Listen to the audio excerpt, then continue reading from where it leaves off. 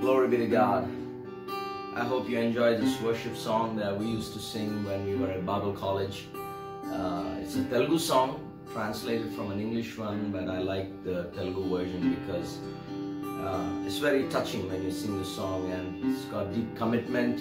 And as Bible College students, this was, you know, like a commitment song for us. So I want to sing this song to you today. And please join me as I worship the Lord, okay? Thank you, thank you, thank you. Lord, we worship.